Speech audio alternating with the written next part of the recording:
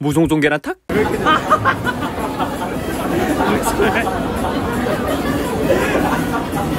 어, 여러분들, 여러분에게 드릴 말씀이 하나 있습니다. 사실 저희 아바비드는 정말로 기가 막히고 너무나 유쾌하고 너무나 재밌는 그런 댄스가 하나 있습니다.